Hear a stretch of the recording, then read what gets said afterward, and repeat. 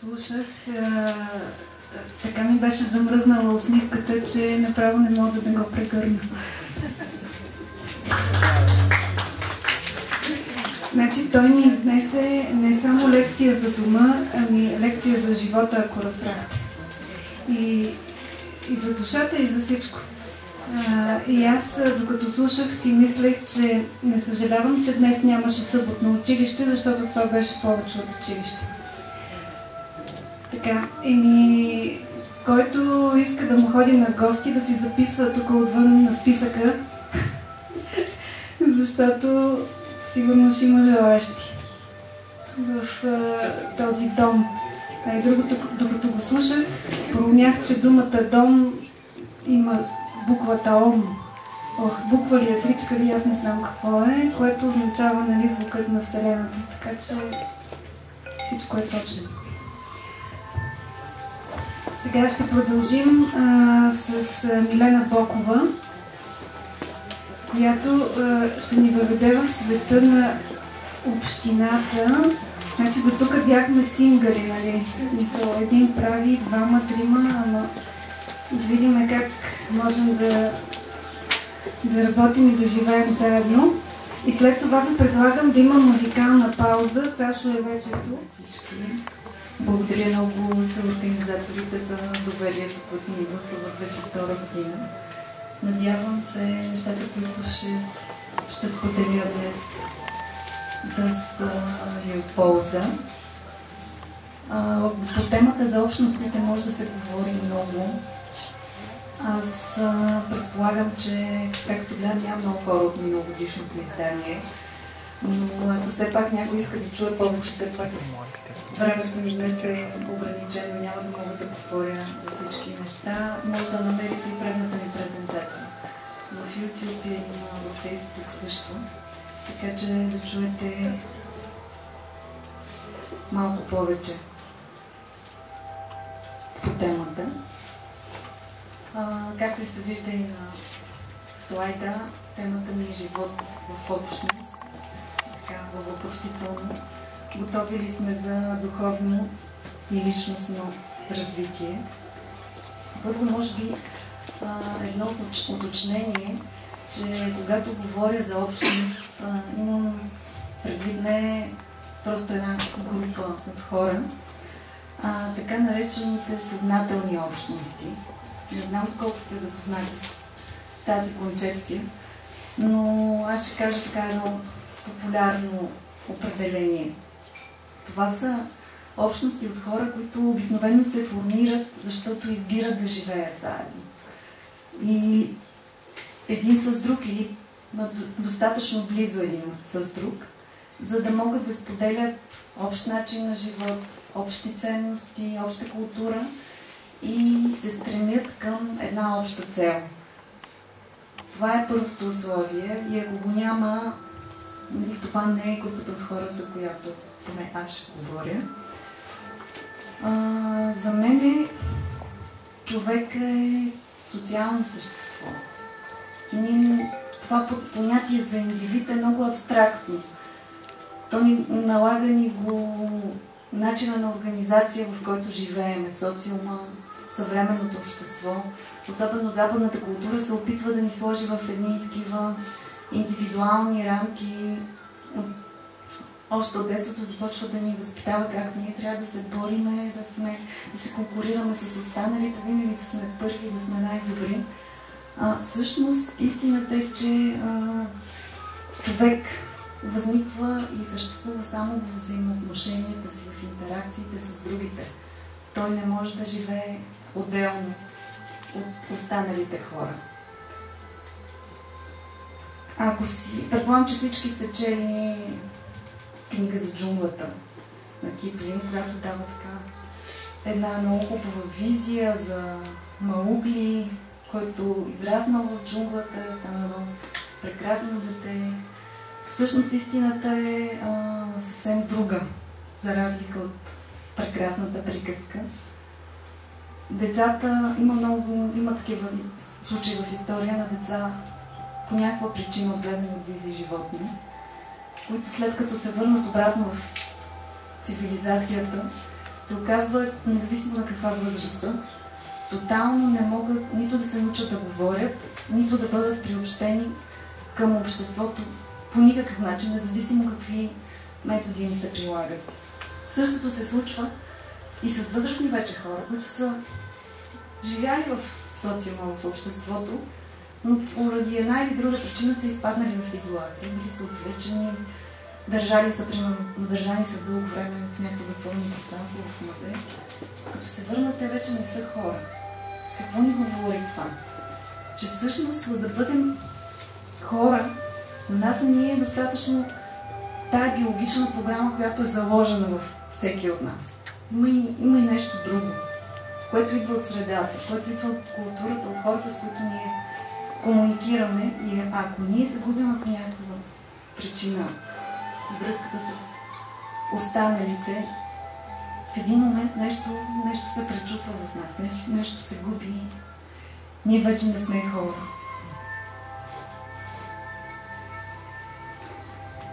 Извинявайте, аз малко се вълнувам, защото темата наистина ми е много важна и ми се иска, а, ми се иска хората така повече да вникнат в това нещо. А, малко за града, който аз, така играйки си със самата дума, съм го нарекла груповият арт. Гр, групов арт. Мисля, че достатъчно кръсноречиво говорим заглавието. И за мен лично альтернативата е това, което виждате и на снимката, така съвсем, съвсем, съвсем по-къщичка, която обаче е сред природата. Защото градът, особено големия град и живота в него, лишава човека от много такива съвсем простички естествени неща, естествена среда, която реално удовлетворява всичките му потребности. И в същото време му създава едно пространство на постоянен стрес, с който човека е принуден да се справя. Защото а, цялата тая градска организация, в която ние живеем, противоречи на природните, естествените ритми, които са заложени в човека като биологична единица. И ще дам няколко примера, така да не, звучи съвсем теоретично и голословно. Например, ако вземем транспортния стрес, стрес, на който ние всички сме подложени, особено живейки в София, знаете, всеки ден, за да стигнем до някъде, някога може да ни отнеме и час, особено ако сме с личен автомобил. Непрекъснато трябва да внимаваме за останалите в движението. И повечето хора така доста, меко казано, се изнервят от това нещо. И това обаче какво предизвиква в организма? Предизвиква отделяне на нервни хормони, които предизвикват един много особен вид глад, който не е глад, защото сме гладни, имаме нужда да, да поемаме някакви хранителни вещества, а точно глад, който се базира на на нервна основа и в случая ние не ядем, не ядем някаква качествена храна, ами просто имаме нужда да дъвчем, да сложим нещо в устата, за да може по този начин да неутрализираме стреса, в който сме изпаднали. И това е основната причина, поради която хората се хранят с буклуци. Децата ядат джънкфуд, хамбургери, чипсове, зрънчовци, всякакви такива неща, което е, как повечето от вас предполагам знаете, дори да не сте специалисти, че това е храна, която няма никакви хранителни вещества в нея. Обаче тя задоволява точно тая нужда от това да сдъвчаме нещо, да, да предъвчаме този стрес, който сме натрупали от околното пространство. Други примери, които също са ви известни, това са всякакви бягства в виртуалната реалност. Като казвам нали, виртуалната реалност, нямам предвид а, седенето пред компютър, нали, цял ден, чатането с приятели. Имам предвид и всякакви пороци, на които хората, живейки в града, са малко или много предразположени. И на тези, на които не им издържа, така, няма достатъчно воля и не им издържа психиката, много лесно се отдават. Но всякакви и алкохолизъм, и, и цигари, и наркотици, и всякакви други пороци. Това, това обаче е много така естествено обособено. Това се получава точно защото човека е откъснат в природната среда, която иначе му задоволява абсолютно всички нужди. Нали? Тя, е, тя е, с, с, човека така е създаден, че да се впише в нея и да получава от нея всичко, което, от което има нужда. Града обаче нея няма. Виждате, какви блокове живеем. По 24 часа на ден, 7 дена в седмицата. Няма откъде да получиме и да задоволиме тия нужди, които имаме.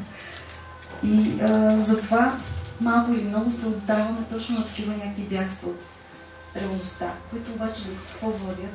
Водят до опустошаване на душата ни.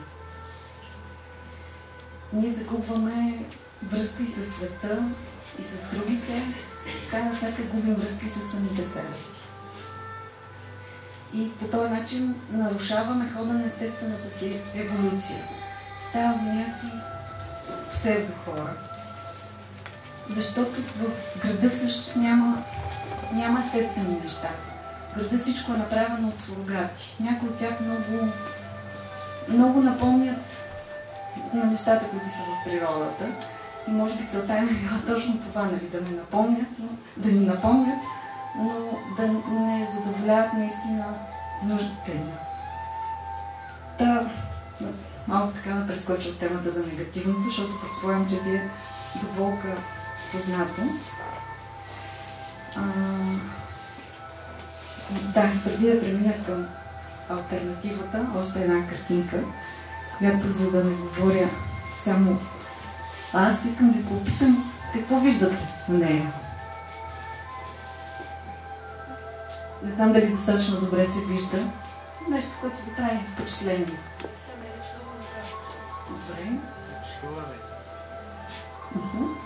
Това е в идеалния вариант. да.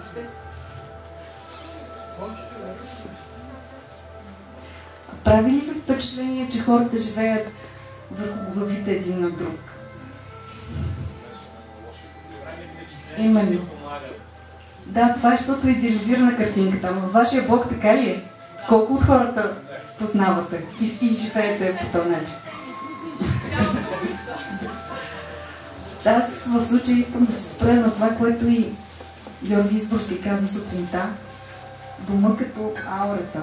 Знаете много добре, че нашата аура се простира на няколко метра извън нашето тяло. 2, 3, 5, 8, зависимост от енергийната сила на човека.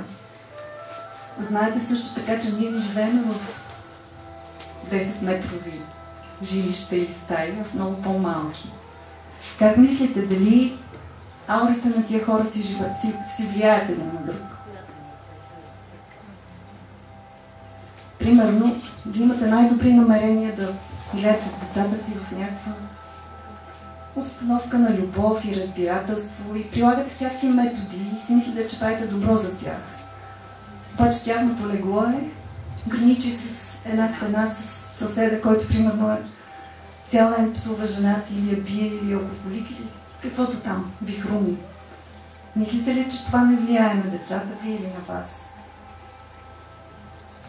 Просто въпрос за разсъждение. Също всичките рутери, мобилни телефони, антени, но наистина да... В смисъл това са неща, които ги има, има е тази информация и може да я намерите. Та... Малко за... Така да минем към към живота в общност. По какво се отличава той от градския? Както и Калвян сутринта спомена, че съм казвала в предния семинар, че за мен е а, живота, който е от бъдещето всъщност, който се опитваме да изградиме и все още го има на много малко места в света, не е живота нито в града, нито в селото, защото и двата модела са се изчерпали.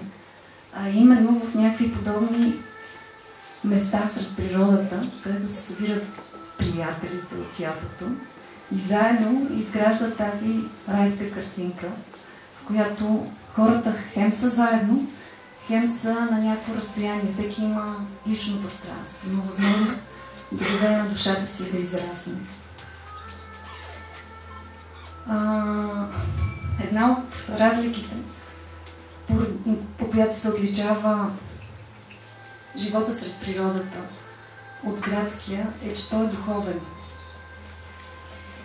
И освен нали, че там всякакви такива първични потребности са прости естествени, те се допълват някакси естествено от освояване на духовни образи, които са навсякъде сред нас, за разлика от изкуствената градска среда.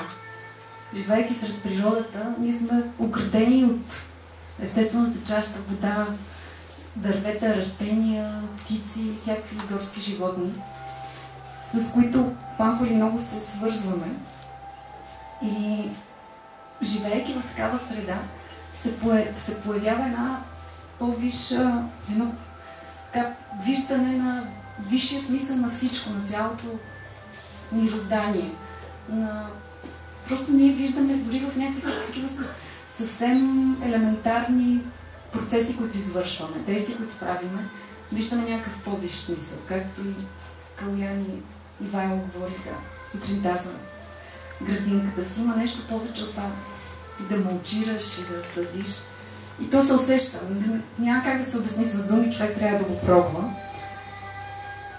А, освен нали, в природата се вижда и висшия смисъл и в човешките взаимоотношения тогава. Освен това, всякакви действия, които ние правим там, като се започне от сеенето, грижата за растенията, прибирането на реколтата, раждането на детето в естествена среда, отглеждането му, смъртта на някой от семейството. Въобще всички действия, които ние правим там, те не са, не са просто задължения или нещо, което правим, примерно за изкарване на пари или поради някакви други причини, а, те се превръщат в ритуали. Дори най-древният детайл вече придобива един много по-виш смисъл, най- най-малкото действие. И това е една наистина непрекъсната медитация, която ние реално ние сме в медитация нон-стоп по 24 часа в ден, на деня, просто живеейки в такава обстановка. Освен това, потребностите там не мога да кажа, че са малки, но някакси те се удовлетворяват в по-голямата си част от ресурсите, които мястото предоставя. Много малко. Има много малка нужда от някакви външни средства, които, които неща, които влизат отвън.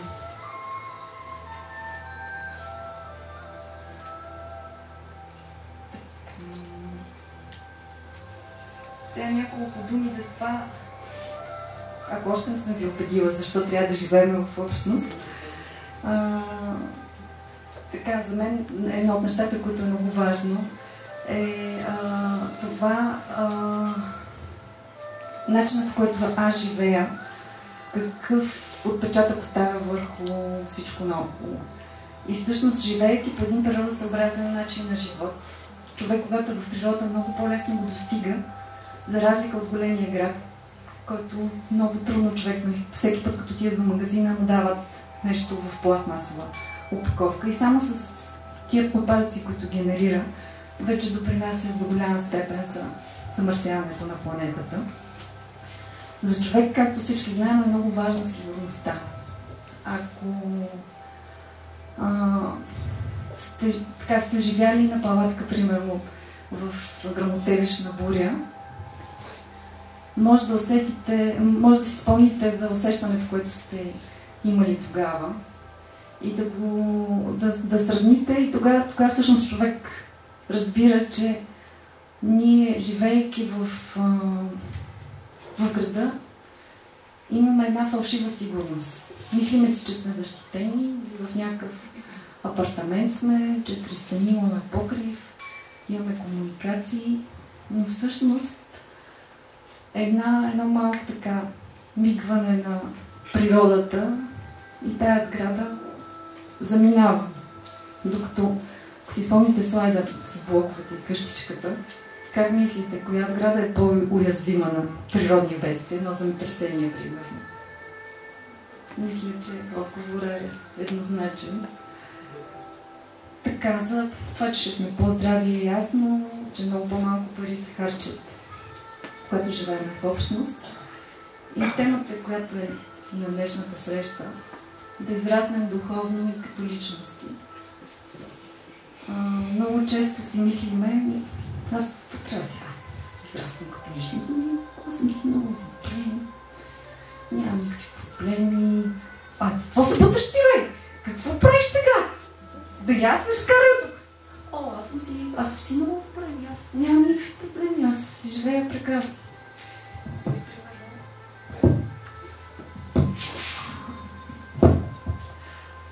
Аз съм много, много свързан с хората. Имам тук сега 5000 приятели във Фейсбук.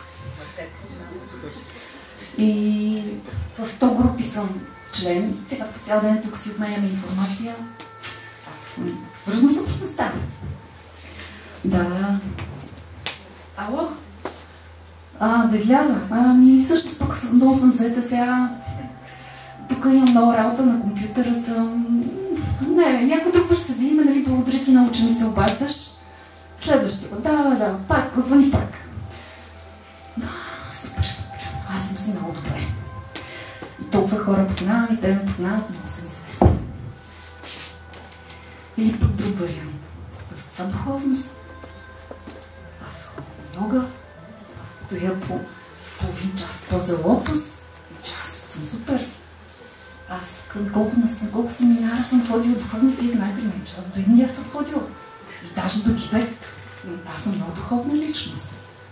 Всъщност истината е, че всички тия, така, надявам се да не ги прозвуча много несериозно това, Истината е, че тия всички практики помагат и аз въобще не искам да ги омалвържа.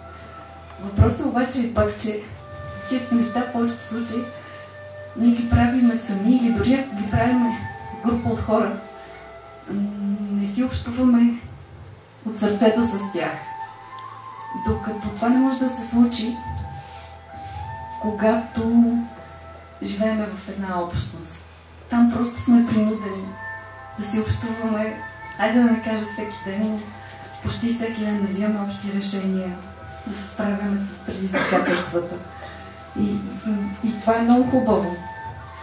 Защото точно това нещо води до следващия извод. По този начин ние се чувстваме свързани, част от групата и подкрепени точно от хора с общо мислене. И естествено се забавляваме много повече, отколкото ако висиме цял ден във Фейсбук или в някакви други социални мрежи. Малко за това как всеки един от нас да прецени дали е готов да направи такава крачка, защото, както казах и преди малко, това наистина е нещо, което ние не можем. Ние всички трябва да първо да се научим. Ние сме свикнали да живееме в, в ерата на рибите най-много до, до размера на семейството и така по-голямото семейство. Примерно хора, които живеят повече с роднини и си общуват. И това ни е граница. С приятели, с хора, които сме на едно съзнание, обикновено се срещаме само за хубави неща. Или, примерно, ако се наложи да поискаме помощ в някакви извънредни ситуации. Но сега вече, както знаете, в ерата на Водолея нещата се променят. И на дневен наред идват точно тези ценности, точно тези опитности, на които ние трябва да се учим. Да се научиме да се свързваме с човека до нас, с групата до нас и да създаваме този свят заедно. Не само за себе си, а за общото благо. Та едно от най-важните неща според мене, а и според практиката, която показва от опита на подобни вече изградени общности, е човек да е само издържащ се, да е финансово независим. Не, че подобни общности не приемат и хора, които нямат финансови възможности, но по този начин те не се, не се чувстват равностойни и се нарушава баланса в групата. Друго изискване е да сме отворени, гъвкави, чуващи и приемащи гледните точки на другите. Не само да искаме да чуваме собствения си глас. Съответно, трябва да имаме една така по, по-широко отворено сърце и по-разширена визия и да мислиме за доброто и на другите, не само за собственото си добруване, но от друга страна пък да сме достатъчно озряли като личност, да може да си поставиме собствените граници, да си познаваме собствените граници и да знаем докъде може да допускаме хората, защото знаете, понякога ни се качват и на главата. А, също така, в една общност хората имат, както казах, вече имат обща цел.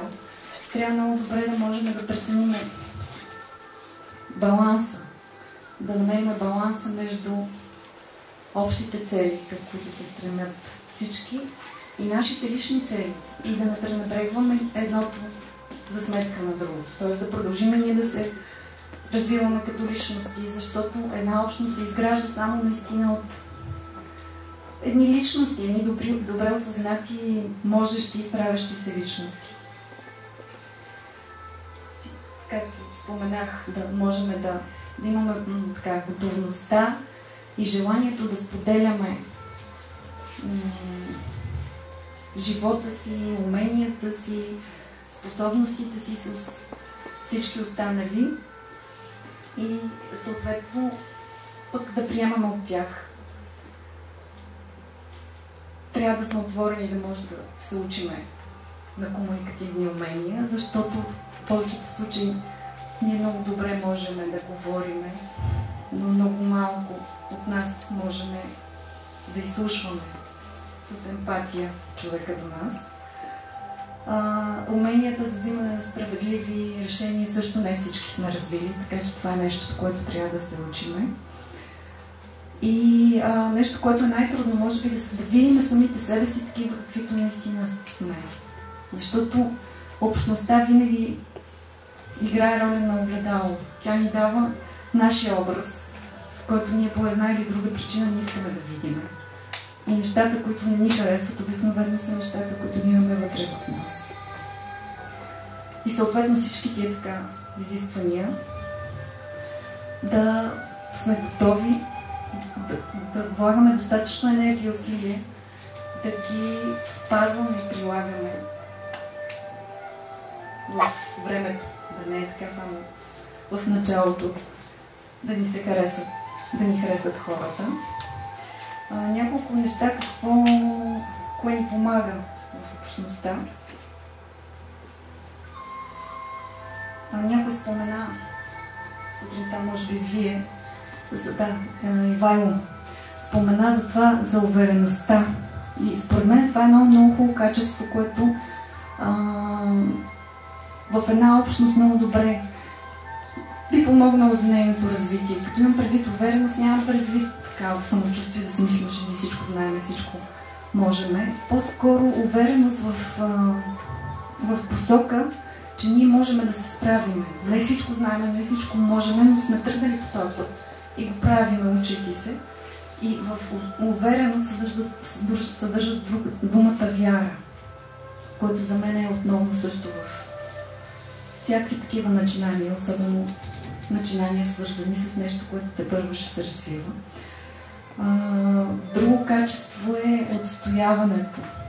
Знаеме, че живота не е лесен, особено когато тръгваме в някаква така съвсем непозната област, в която нямаме много ориентири, нямаме много хора, които да ни, да ни помогнат.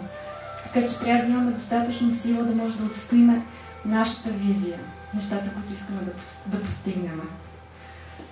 А друго качество е състрадателността да може да да усещаме другите хора, да знаем, че те също се учат. И всички вървиме по една пътека, която няма, няма нещо, което е построено, начертано, ние сами трябва да си направим. И за готовността да изслушваме и да се учиме пак, да кажа, ако не съм казала. И съответно да служиме и да допринасяме за нещо много по-голямо от самите нас. И няколко неща, които на миналата презентация ги казах, но ще ги повторя пак, защото мисля, че са много важни. Това е начинът на взимане на решение. Много е важно в една общност да никой да не се чувства изолиран. Всеки да се чувства част от процеса на взимане на решения. И затова всички такива принципи, на които сме свикнали, нали, всяки демокрация или а, централизация на властта, тоталитаризъм, в живота в общност не работят. Трябва да се научим да постигаме консенсус. И в който, в който процес да има възможност всеки да бъде изслушан, да, бъде, да си каже мнението и ако някой е против нещо, съответно да се, да се търси, да се работи за постигане на общото решение. Защото много често се случва, че начинът по който е организирано нашето общество, нашия живот се определя от мнозинството. Мислите ли, че мнозинството е това, което най-добре знае, кое е добре, доброто за всички? Именно. Много често се случва така, че хората, които имат визията за бъдеще, те са единици. Винаги са били единици и ще бъдат. Масата не може да определя бъдещето на всички. Затова много често дори един човек, ако има предложения, всички останали са против, може би той е. Може и да не е. Но сме длъжни да се съобразиме, да вложим енергия и усилия, за да откриеме наистина семката в неговото предложение, която може би ще е най-добра за всички. Другото, аз миналата презентация много говорих за самото устройство на общностите, така че сега, сега ще го пропусна, още получа, че и с времето много напредваме, но само ще загадна за общата работа. Това не значи, нали, пак да уточна само, че общност не е комуна. Ако някой ме е разбрал погрешно. Така че общата работа в случая а, я визирам като нещо, по което ни сплотява. Ние трябва да имаме някакви общи проекти, в които всички се включват. Но те не са нещото, което ангажира цялото време на хората от общността. Може да има, примерно, общ детски център или общо училище или някакъв общ медицински център, обща инфраструктура, която естествено всички се включваме, защото всички ще ползваме след това. Но човек трябва да има, както казах преди малко, да си знае личните граници и да се грижи и за личното си пространство и за личния живот, защото ако той не го прави, няма кой да го направи вместо. И а, другото нещо, което е много важно за това една общност да е жизнена, е да си има общи ритуали, общи празници, поводи, а, чрез които да се събира заедно и да може хората да общуват помежду си, да се свързват още повече. Така че това е нещо, което наистина е много важно. И а,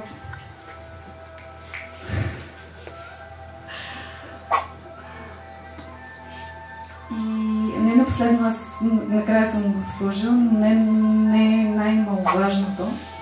Това е изискването за независимост от външните системи. Като имам предвид най-вече енергийна независимост. Тоест, общността да си...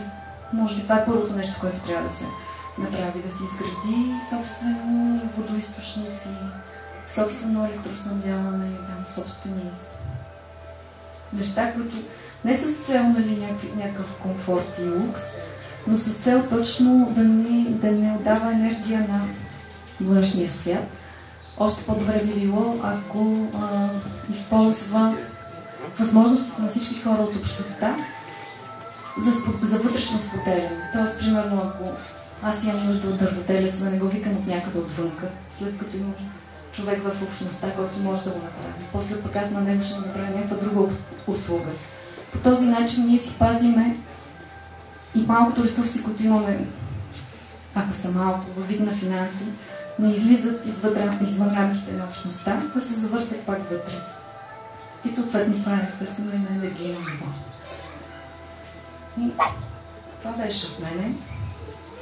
Надявам се поне малко да съм допринесла за изясняване на концепцията за живот в общност. Ако има някакви въпроси, съм на линия сега или по-късно. Вече